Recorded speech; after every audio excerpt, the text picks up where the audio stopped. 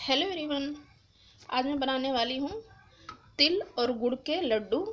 तो तिल और गुड़ के लड्डू के लिए हमें, देखिए, सिर्फ़ तिल और गुड़ दो चीज़ों में बनाऊँगी। और अगर जो आपको ड्राई फ्रूट्स भी डालना है तो आप डाल सकते हैं।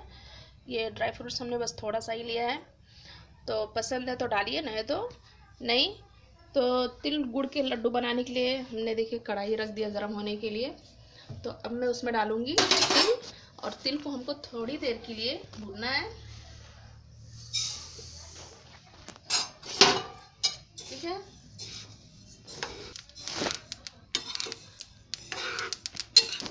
ये देखिए, तिल को भूनते हुए दो मिनट हो गया है और इसमें से फूटने की आवाज़ भी आ रही है। तो अब मैं इसको उतार लूँगी, क्योंकि ज़्यादा देर भूनना, भूनने से ये जल जाएगा। तो इसको मैं गैस को बंद करके इसको मैं नीचे उतार लूँगी। मैं इसको एक थाली में निकाल रही हूँ इसको ठंडा होने के लिए।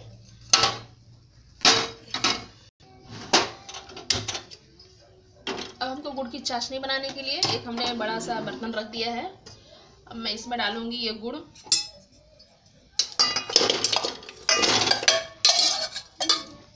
ठीक है?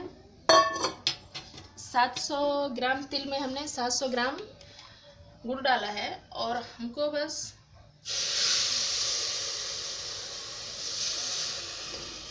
लगभग आधा ग्लास पानी इसमें हमने डाल दिया है।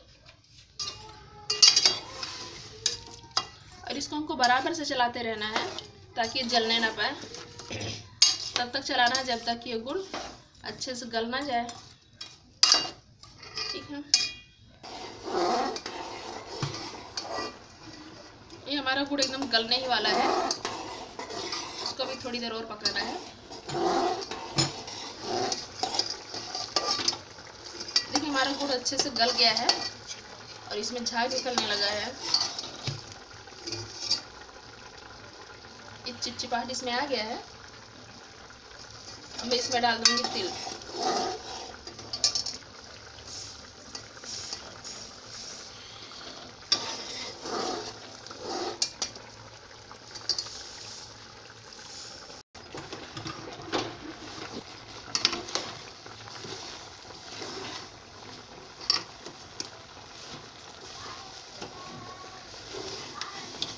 सारा तिल हमने इसमें डाल दिया और अच्छे से हमने मिक्स कर दिया है। अब इसी तरह से थोड़ा चलाते रहना है, जब तक ये थोड़ा सा सूख ना जाए।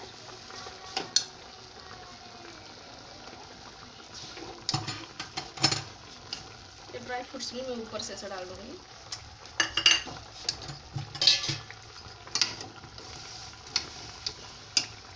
इसको अच्छे से मिक्स कर दूँगी।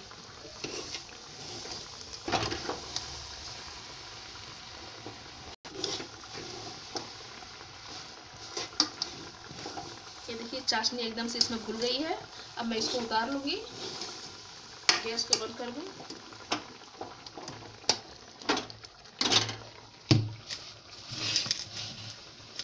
इसको थोड़ा सा ठंडा हो जाए, फिर मैं इसका गोल गोल लड्डू बना लूँगी।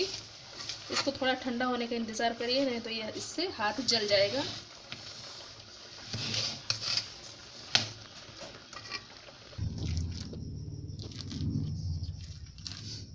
ये देखिए मेरा ये तिल ठंडा हो चुका है। अब मैं इसको आकार में गोल गोल लड्डू बना लूँगी। तो इसके लिए हमने देखिए यहाँ घी रख लिया है। घी को हाथ में लगा करके, ठीक है, इसका गोल गोल लड्डू बना लूँगी। ऐसे गोल गोल हम लड्डू बना लेंगे इसका। बाकी के तिल का भी इसी तरह से लड्डू बना लेंगे। आप अपने हिसाब से बड़ा छोटा जो भी बनाना चाहे बना सकते हैं। ये देखिए, तिल का लड्डू तैयार हो गया है और बनाना बहुत ही आसान है और ये हमारे ठंडक में बहुत ही गर्म भी होता है। तो ठंडक के लिए आप इसको बनाएँ, खाएँ और मेरा ये बनाया हुआ तरीका, अगर जो आपको पसंद आए तो आप इसको लाइक करें और हमारे चैनल को सब्सक्राइब करें। Okay thank you